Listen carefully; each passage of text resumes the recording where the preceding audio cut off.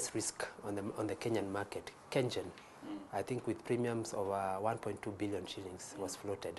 The rates came to 30% what they were last year. So the, if the industry premium for Kengen was 1.2 billion in the previous year, now it's come to 900 million. And, and people have taken it. Insurance companies have taken it.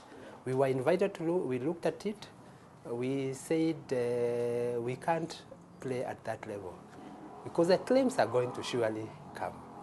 And then accompanied with that, you have, that's at a gross level. So you haven't even taken out commissions and other expenses that you must pay, uh, you know, the brokers and so on.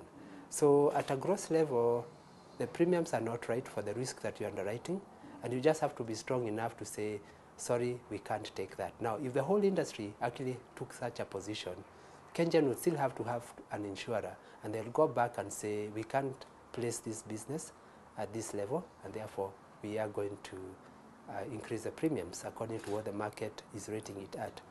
Uh, the second example is the collection, which was also a very key uh, driver uh, or a key determinant that uh, risk-based capital was, was trying to fix. And uh, so we go out and write premiums. We show good top line, but the money is out there with the with the broker or with the client, and the risk come. You know, the year comes and goes. You haven't been paid, you write off. So again, you showed very good growth, but all of that has gone into provisioning and bad debt write-off. Uh, again, not very good for, for the industry, not good for shareholders or anyone.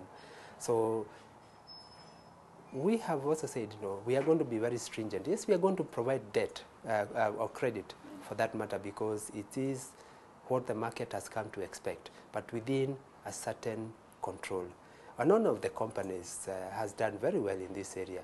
They will give you credit because you've asked, but for 30 days. After that, it's an automatic cancellation, no questions asked. And they're making progress. So again, uh, such a company is probably going to suffer, uh, quote unquote, in the short term. But in the long term, they are going to have solid respect from the market, solid capability to provide uh, service because the customer is going to know if I go with this company, it's going, I'm going to pay, I'm going to meet my end of bargain, and they're likely to also meet their end of the bargain, which is, I think, what the, the confidence that needs to be brought back to the market, that we need to be tough, but also to be fair. And we need to say, this is the space in which we will operate. Because I think when we define that space and the customers begin to see you live up to those ideals and aspirations, I think you restore the confidence that, that this industry so much needs. I, I won't name that company, but I think they are, they are giving us courage that, I mean, you can take tough, considerate decisions uh, on the acquisition side, but also do the same on the service on the service side. So I think if we don't fix it as the CEOs who are sitting in this space in this time, um, I think it becomes even more difficult for future generations to fix this problem.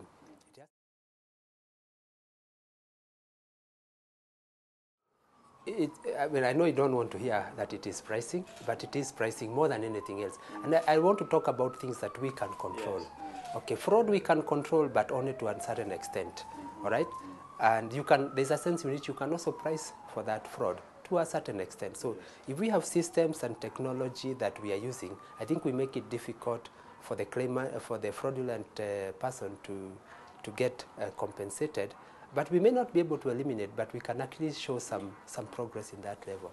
But I, I say pricing is the main thing because you have the experience of how a scheme performed, not just last year and the year before, but the previous years. You have the population, you have data. I think in every three years, if you make a loss in one year, you could be excused because you are taking your chances, you are managing the risk. But when you, when you actually make a, a, a loss consistently, that means something is not right. Either you're not responding to what feedback you are getting, uh, and this is the loss ratios that we, we see. We see the populations, we see how they have, the benefits have been used. We should be sensitive to what the hospitals are doing. Uh, and the, uh, we, we've seen the, you know, hospitals are increasing costs. Uh, the cost of medication is increasing from pharmacies. Every three months. Every, every three months or every so often. So if I'm a sensible underwriter, why should I not be able to take into account those realities today? Uh, I may not, it, may, it may not be um, something I can do for the current book, but it should be able to inform me as I come to do the renewal process. But what do we do? We, we look at that and we say, you know, next year things are going to change for the better. So we actually even reduce the price so that I can just have the business. So it is, price is at our control, we can control that. So if we don't address that as the biggest factor, I'm not saying it's the only factor that uh, leads a book into a loss, but I think it's the one that is within our immediate ambit. It's our low-lying fruit, and we are not picking it.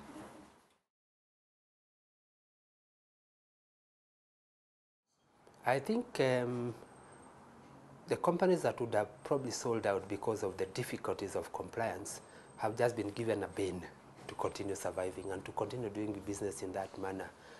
Uh, I'm sorry to, to, say, but I think we are yet to see a regulator come in strongly to regulate uh, this industry. So we, risk-based capital was, was a good idea. Uh, I think I may not, I, I did not agree with everything that was in the detail, but I think those are details and we could, we could, we could sort them out. But it was actually one of the most, um, can I say, one of the most forward-moving, futuristic things that this industry needed to, to do because it would force us to ensure that every day we are doing something that is in, within a certain uh, framework. Now that framework has been pushed out and I think the message it is sending to the industry is that it really, ne really never stood a chance of time. And the same effort it is taken us to, from 2015 to build up to where we were now, where we looked at 1.2 times capital, 1.5 times capital, 1.8 times capital, which would have been the effective uh, situation, is actually been a joke then. It's been pushed away. The same effort is gonna, it's gonna take the same effort to get that level of discipline back into the industry. So I don't think we will be in for any easier time. Now, companies that were saying, hey, we, uh, our capital is almost wiped out. We are not able to go back to the shareholders and inject more capital into the business, or where our management is, we cannot actually swing this to ensure that we are at two times capital or 1.8 times capital. Um, those companies are going to go back and do business as usual. And therefore, where they were looking out for help, they're not going to look out for that help. They're going to be happy to continue holding on to what they call an insurance company in return, not for core business returns, but for investment income. And regardless of whether those are you know, reducing by year by year, because with the capping of the interest rates with the bank, there's been a, a there's been a maximum as to what we can make. Are not, we are not going to make the super returns that we saw we saw in the prior years out of uh, fixed deposits or out of treasury bills. Those are, you know, in a sense capped at about 12% or thereabouts. You know, the capital, the stock exchange is also not uh, been vibrant. So again, uh, people are gonna, owners are gonna have to ask what they're, they're in this space for, uh, especially if we don't fix the core business. There's a, there's a consequential in, in, impact on, on investment income, and they just might end up saying it's not worth it. So I think those sensible ones from that point of view, either go back and fix their business or look for a worthy partner to, to try and do uh, an amalgamation or a, a, consolidation with. So it does open up opportunities, but I think it also makes it difficult, uh, easy for companies to continue operating as business as usual, no change.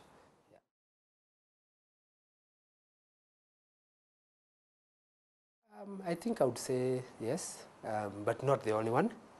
Uh, not the, definitely, there are many other things to, to fix.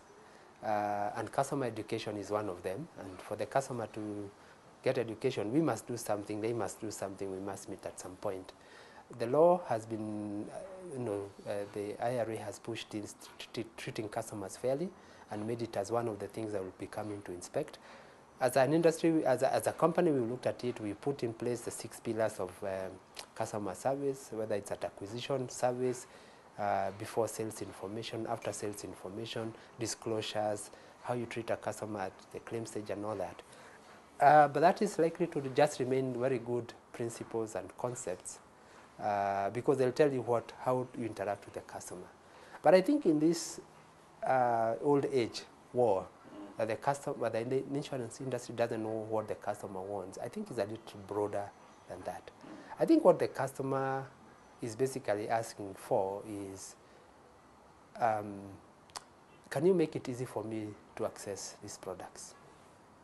Um, like, let's take the banking because we always compared to banks.